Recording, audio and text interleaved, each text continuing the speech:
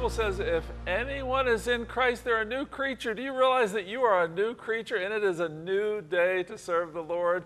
Thank you for joining us today on Hope Today. I'm Tom Hollis. I'm here with Sydney. Sydney, we have a great guest coming up. Yes, I'm really excited because coming up on Hope today, the story behind a former child model who's now making music that reflects her faith. In a moment, you'll hear and meet Estella Kirk, hear about her journey, and get a taste of her music too. She's 18 years old, and I just want all of us just to stick around and encourage her because, you know, one thing I think it is so beautiful is when we think about when we were teenagers, when we think about we were young.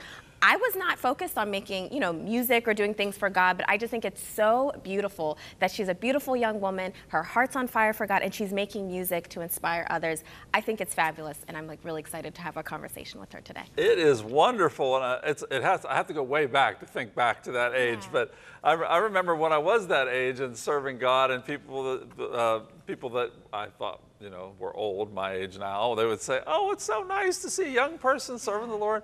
Well, it is. It's wonderful because there's so many things that can pull us and draw us, uh, uh, uh, take our attention away from God, especially when you're, when you're young and the whole world is opening up before you. There's all these different paths you can take but uh, Estella is choosing that path of following Christ. Yeah, and I think it's so beautiful talking about the path of choosing Christ. So if you have a young child, a grandchild, or somebody you're mentoring, definitely encourage them to watch this story and this conversation we're going to have with Estella because I think it is so important. You know, in this day of age, we know like I cannot imagine what it would be like, Tom, to be. Yeah a teenager during this generation with social media, with everything that's going on yeah. in the world and the pressures that they face. But for young people, and I see there's so many of them that are making a statement, I'm like, I'm going to follow Jesus, I'm going to be open about my faith. I think it is truly beautiful. It is wonderful. And yeah, there are so many different things that, and pressures that, that are on young people today. You know, if you are feeling pressure, you know, I started off by saying that when we're in Christ, we're a, we're a new creature. But man, some of those old things try to hang on to us. Maybe that's you today. If you need prayer, you need something to, to, to you need someone to help take you to the throne of, uh, of the Lord, you can call our, our number. It's there on the screen. There'll be a prayer partner there waiting to pray with you. Yeah. Well, you know, our guest today is a rising Christian star and a teenage girl who's been working in the entertainment business since she was a young girl. Estella Kirk is passionate about sharing her faith, music, and recently she released a new project called Running on Low, where she takes listeners on a journey of finding hope through hard moments in life. Estella, we are so glad to have you with us today. Thank you so much for having me. It's such an honor to be able to come on here and just share my story with you guys and just talk to you guys today with us. And so before we dig into your story, can you tell us a little bit about you? And I think it is so beautiful. Your name is Estella, how your parents named you, and it means star. So tell us a little bit about you. Thank you. Um, yeah, so I started out doing music around seven years old. So super little. Um, nobody in my family actually does music, it's just me. Um, but I actually started out doing pop music, which um, I soon began to feel wasn't my path. And I just felt that God was really leading me to Christian music. So at 13, I just decided to do Christian music and I created an EP. And ever since then, I've just been on fire for the Lord and just chasing what He has for me. Estella, I think that is absolutely phenomenal to be 13 and just be so sure right. that knowing that like I'm going to follow Jesus, I'm going to create music for him because you could have made, you know, gone all different paths and way. Can can you just share how you found God, how Jesus became a part of your life? So it was really through church, just that typical like going to church camp and um, doing worship at my church. But you know, when I really connected with God was when I was doing Christian music. Like even my mom would say, you know, like you sing the best when you're doing Christian music. And I was like, yeah, I know. but I, I just kind of fought it for a little while. I think, like we all do, we can just turn away from what we know God's plan is for our life. Um, so I did fought, fight it for a little bit, but um, I just couldn't fight any longer, and I had to do Christian music. And I created my EP called Brightside, and then now I've created an album called Running on Low, which is my favorite project so far. That is truly beautiful, and incredible. I mean, you are 18 years old and you have two albums already under your belt. I mean, what an amazing accomplishment. And Estelle, I'm just curious because you just said, you know, talking earlier, you said you had this like fire for the Lord and just this passion for singing for God. What is it like for you when you have those moments when you're it's just you and God alone and you're just making music? Oh wow, it's it's truly the most amazing experience and it's so special to just have that real relationship with God, um, just to have someone that you can go and you can talk to no matter no matter what's going on in your life. There's been so many times where I just I didn't know who to talk to or I didn't know who to turn to, but I've always had God. And through music and through writing, I've been able to express those and express those feelings and just be able to talk to God freely through music. Well, I love what you're saying, be able to talk to God, because we know it's about having a relationship with Jesus when we're walking through hard times or we're dealing with struggles, and something that you like are open about that dealing with like self-esteem and fear, just different things that I know that's really common for people that are teenagers or any age. So can you just talk to us about how God even helped you walk through that as well? Yeah, so through social media, we all know that teenagers, especially teenagers, go through just hours of scrolling online and hours of scrolling on social media. So I wanted to create music that would help teens not feel as imperfect when they're scrolling on social media. Um, Someone I'm Not really talks about that, which is um, one of my favorite songs on the Running on Low album. Um, it just talks about waking up in the morning and just feeling all of this self doubt and all of these feelings. And but in the end, it talks about being able to look to God for confirmation in where we find our worth and where we found our value, and just being able to talk about those issues and being real with teens is just that's what keeps me going. That's what keeps me creating music.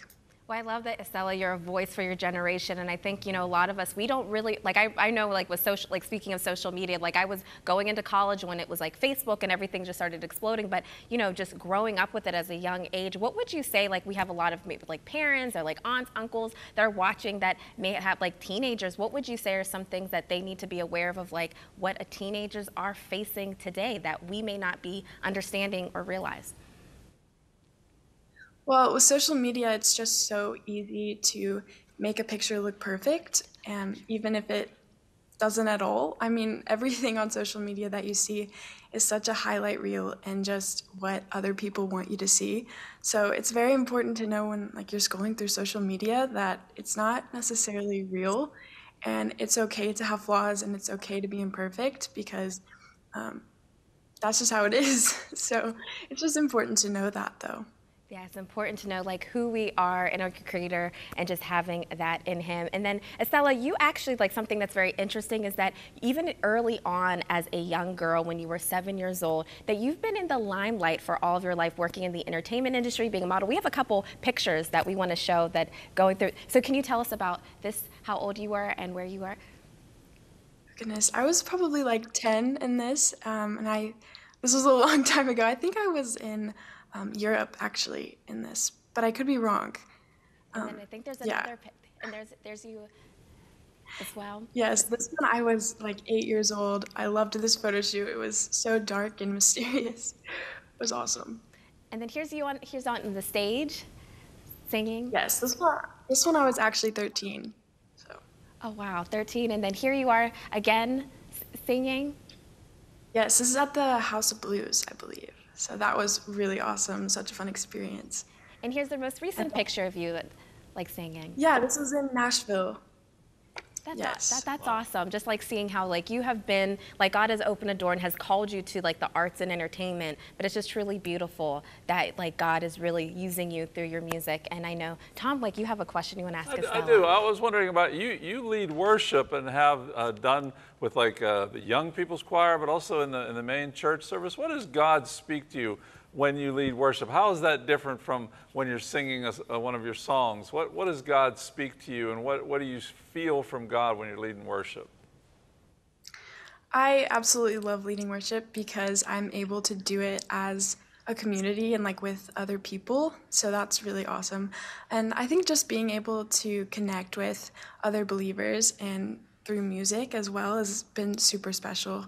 Um, but just having that intimate one on one time with God has been um, just amazing with my walk with God. And it's just been able to help me so much to get closer to God. And yeah, it's, it's been amazing to be able to lead worship. And know, another way that you are leading worship that is not necessarily in the church, but you're outside of the four walls is like through your music and your professional career. So let's talk about your latest project, Running on Low. Tell us about the inspiration behind it. So, with Running on Low, I just wanted to talk about how sometimes we're just running through life, but we're running on low because we're not always running with God.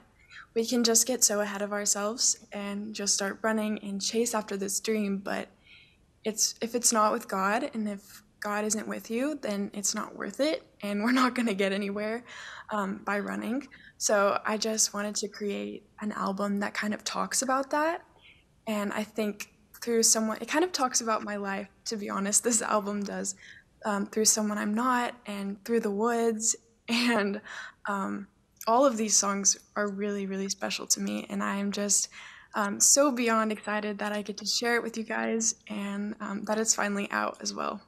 And so I know in just a moment we're going to go to your video through the woods, but can you tell us? I mean, I think it's so beautiful what you're saying. Like just like you have so much wisdom. I just want to share that with you as an 18-year-old girl, just knowing the importance of walking with God, with being with God, allowing Him to lead us on our lives. And so, can you just tell us before we go to Through the Woods, your music video, what it means and the inspiration behind it? Yeah, so through the woods, I just really wanted to talk about walking with God.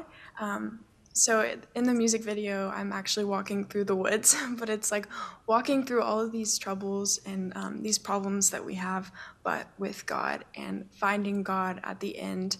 Um, so it's kind of like the light at the end of the tunnel. Hmm. Well, we love that. So right now, we're going to go to Estella Kirk's video, Through the Woods. Take a look.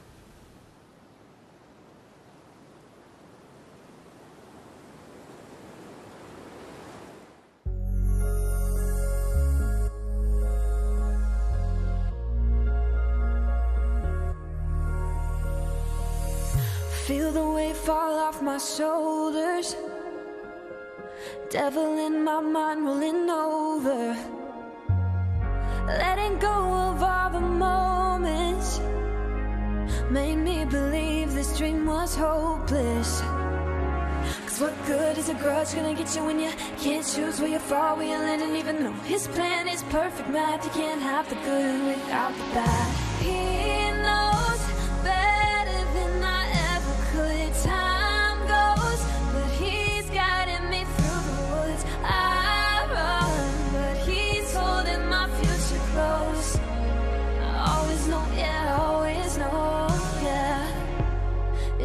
easier to shrug it off and act like it's nothing Oh but faith is the white knight you have to follow blindly, blindly. Cause what good is a grudge gonna get you when you can't choose where you fall, where you land, and even though his plan is perfect math, you can't have the good without the bad.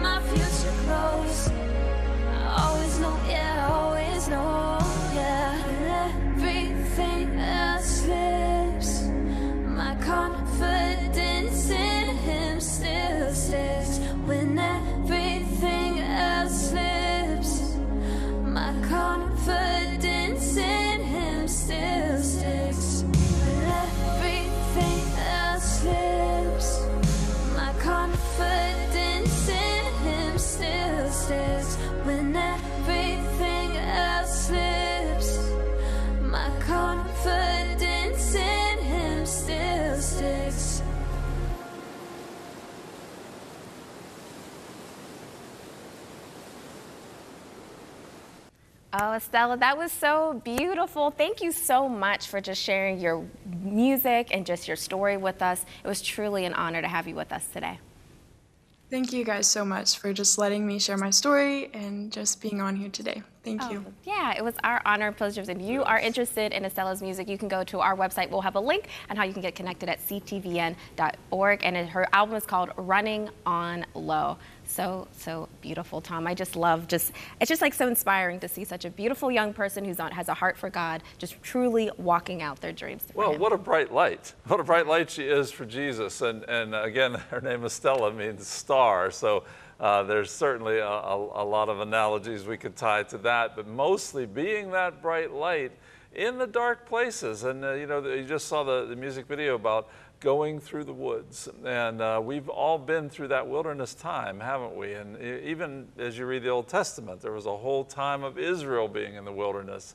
And the, the way out of the wilderness has always been to, to draw close to God, to draw near to God, to hear what the Spirit is saying, to follow after His footsteps. You know what? He knows the way out of your wilderness. He knows the way out. And uh, you may be uh, right now saying, I don't know. I don't know where, where to turn.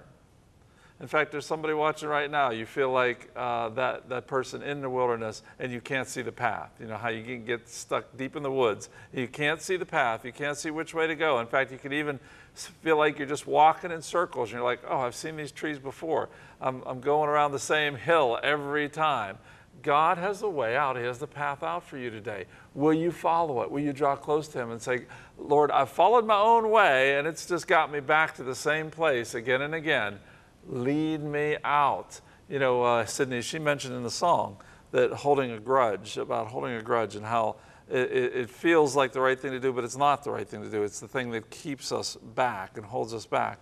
Forgiveness is a key to getting out of that wilderness. It truly is a key to um, getting out of the wilderness. And even as you were talking, Tom, what God was just even reminding me of is just like her song Through the Woods. He was reminding me of like one of my favorite characters in the Bible is Enoch, and it's in the book of Genesis, and it's a really short piece about him. But I love that he said he walked with God, and Enoch was just taken up. And I just think about that, like being able to walk with God. That I think about even Jesus, he is the way. It is about his pathway. And there was a time recently, like even watching that music video just reminded me of I was going through the woods. I was in Riverview Park that's in Pittsburgh on the north side of the city. And I just had this time I was walking on the pathway and God was just really speaking me to like just walk with me. I had no agenda. I had no time. Like I was just walking in the wilderness. I was like, I have no idea where I'm going. But I think in these seasons, it's no matter what you are going through and you're facing through, I think God ultimately, He's a God that He wants to walk with us. He wants to speak with us. He wants us to be intimate with us. And when you are walking side by side with God, it is amazing the revelation, the wisdom that He will drop, what He will speak. If there's a certain situation, if there's a certain problem, just take that time to walk with God, and He will show you, He will speak to you how to handle the situation, how to deal with the situation. Because oftentimes, I think, Tom, we take things on ourselves and we use like we're going into our soulish place, but we need to listen to our spirits and connect with God so we know what He's saying and what He's speaking. Well, we can always respond out of a, a, a fleshly or soulish way. We can always respond out of our emotions. emotions are fine, but we shouldn't be led around by our emotions. Uh, God's created us as emotional beings, but they need to be under His lordship as well. Because we can respond out of that, that, that negativity or that soulish place, as Sydney mentioned, where, where we come out and we're like uh, responding not with really God's intent. What is God going to, to uh, to do to, to show you that where that path is. Again, you know, Sydney, as, as anybody who's watched the show knows that I bicycle a lot, my, my wife Jean and I do. Uh, when the, the trails around Pittsburgh, there's a lot of them, but when they were first being built, they were bits and pieces, and we'd have to find that other piece. And I can remember one time we got off, we got onto the road, we were with my son, and we're going through this park, and we, we're like, there's got to be, I know the trail is here somewhere, and my son kept going. And, and he yelled, he's like, hey, I found it. And we, it was up a hill, you know? So that, that pathway, you've lost it, but it's there. God has that pathway for you. So just keep uh, following after him. Get through that, the, the, the, the, the dense part of the trees, and you're going to come back out to that path. And you know what, God, maybe you messed it up.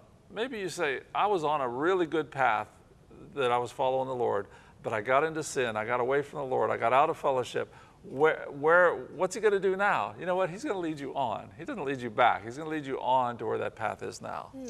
I just think even this theme of just the path, because I think a lot of us, like we all go off this off beaten path. We've all gone down different places. I just think in my life, man, time and time again, especially as a teenager, especially when I was in my 20s, there's different things that I walked through, different like experiences that I had that I could have gone one way or the other. But it's so amazing that even in the midst of my feelings, even in the midst when I was going the wrong way, that God would just reroute me and redirect me and be like, okay, daughter, I need you to go left. I need you to go right. I need you to go this way. And maybe that's you today, that maybe you've been watching this whole time and you're like, you know what? You guys are talking and it sounds really good, but you don't understand how bad I messed up. You don't understand how deep and dark that I got into that place. You don't know what I have done. But can I just tell you that God is the one that He will reach down in the pit? It doesn't matter how far off track that you've gotten, it doesn't matter how you veered away.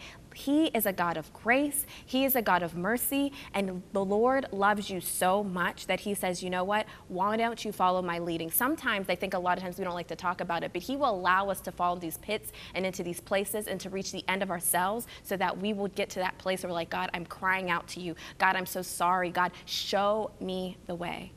So today, if that's you, ask God, show me the way. And the way is only through Jesus. Jesus Christ is the way. When you accept Him as your Lord and Savior, when you walk alongside of Him and you make a choice and a decision to say, you know what, I am leaving my life behind, I am putting all of this aside to follow you, Jesus.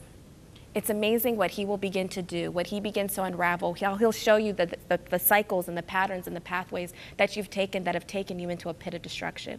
But God, he is your deliverer and he is your defender. And so today, will you accept Jesus today? Will you say, Jesus, thank you that you are the way and the truth and the life and that you died for me? That Jesus paid the ultimate price for you so that you could experience freedom and that you could walk on a new path, a path of life, a path of hope, a path of healing, a path of deliverance. If that's you today, give us a call to our prayer line at 888-665-4483. We have prayer partners that would love to connect with you and to pray with you and to be with you as you begin this new journey with Jesus today. You know, Sydney, as, as you were uh, praying and, and leading people, it reminded me of uh, uh, an illustration I heard many years ago about fact, faith, and feeling, about how there's a fact of Jesus Christ that He died for you, that He cares for you, that He loves you, that He has a plan and purpose for you. And, and that's like the, it was a train, and that's like the locomotive. That's the thing that drives that train. That's the thing that really is important, that fact, okay? Now, faith is how we, we energize that. Okay, faith's like the coal car, the second thing, right? It's the how we energize that and we take advantage and, and, and take uh, ownership of that uh, salvation that He has given us, that, those facts. It's by our faith. And you know, you know what? Feelings that are very, very important, they come later. They come, they come, uh, they may, you may, when you accept the Lord, I did. When I accepted the Lord, I had this tremendous sense of feeling, tremendous sense of forgiveness. Not everybody does. But as you continue to get the main thing, the main thing, follow after Christ, you begin to, to know Him. You begin to see those feelings. They come afterward. And begin to have that relationship with Him, that love relationship, that caring relationship that you know, hey, no matter what's going on, we, we heard Estella say it, that, that she was able to hang on to those things even when there's uh, all the, the pressures that are going to happen to a teenager. She was able to hang on to the truths of who she knew God was. That's what God has for you today. And you know, even I remember studying some time ago that God was just really speaking to me about what faith it looks like, you know. And one thing that in the beginning I know, like um, sometimes when we like look at Jewish, like our you know Jewish roots of our faith, and you start studying, it's really amazing that did you know even in the beginning that God always intended for us to be able to hear Him, that by hearing the Lord, by hearing by what He was saying, that was walking in a place of obedience, so we would know where to go. That is like the foundation of our faith. That Jesus even says, "My sheep." Sheep know my voice. And so today, we just encourage you. Maybe it has been a really long time. You're like, I don't even know if I'm hearing God. I don't even know if I'm going that right way with God. But can we just encourage you today? Take that time to just sit and to listen and it sounds like a whisper. A lot of times it might sound like just like yourself talking, but God will reveal because He wants you to know His voice. In this season, in this hour, in this time that we're walking through in our country, in our nation, in our world, it is so imperative that we know the voice of the Lord, that we know what He's speaking, that we know what He's saying. because He wants to speak to us to give us direction. So when we're going the wrong way or we're going this way, He wants to lead us into that place. And so today, we just encourage you after the show, or if you're watching, whatever time it is, that you would take a moment to just sit and be still and hear God what He has to say for you today. Because when I tell you, when you're able to hear the voice of the Lord and He'll say things to you, there's been times in my life God has spoken things and it seems so foolish to what the world would say or the wisdom of the world. But God, when He speaks, it is life. And he is not a man that he should lie, nor a son of man that he should repent. When he says it, he will do it, he will promise it. So today, we just encourage you to get in the presence of the Lord and to hear what he has to say, especially for you today. Absolutely. The Bible says that you will hear a voice behind you saying, This is the way, walk in it. So God has that for you. You know, another way you hear God's voice? The scriptures. When you read those scriptures, when you study them, when you ask the Holy Spirit to, to enlighten you, to illuminate your heart, it begins to you begin to dig in and begin to say wow there's so much there there's so much i didn't know there's so much god wants me to know and when he begins to build those foundation blocks of following him in your life and then you begin, as Sydney said, you begin to hear and recognize the voice of God. What an adventure it is. What an adventure to follow after God. It's the greatest adventure. God is not boring. God is the opposite of that because He is the most interesting person in the universe. And you know what? He has an interest in you as a child, as a follower, as a, as a co heir with Christ of all the things and good things that He has for you. Have a great day as you follow Him today.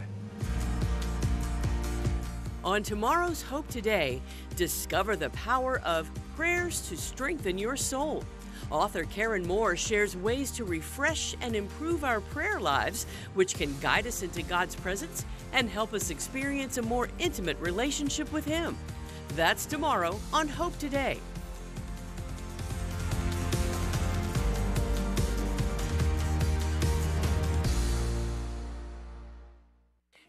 Sid, I love your Cornerstone Television t shirt. Where'd you get it? I am so glad that you asked. You know, this is an exclusive offer for the month of June for you to receive this one of a kind CTVN t shirt. You can support and sport your favorite Christian television network this summer when you go to barbecues, hanging out with family, and having tons of fun. Oh man, that is so much fun. And speaking of Cornerstone Television, I love their programming, especially that Hope Today show. Yes, we love Hope Today and all of the programs. And you know, with your best gift, request your Cornerstone Television Network t shirt when you give this month. We have sizes from extra small to 6XL. It is 100% cotton, it is quality, and we want you to have this on you today. That's right, we have one for everyone, and you get to represent the station you love with your own logo t shirt.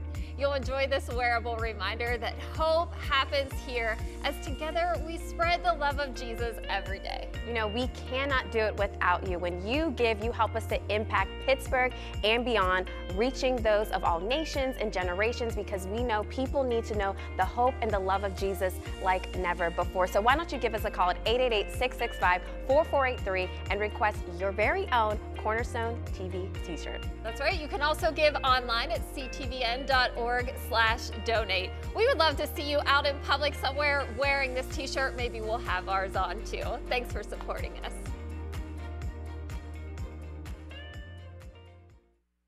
Cornerstone Television wishes to thank all our faithful viewers whose consistent prayers and financial support have made this program possible.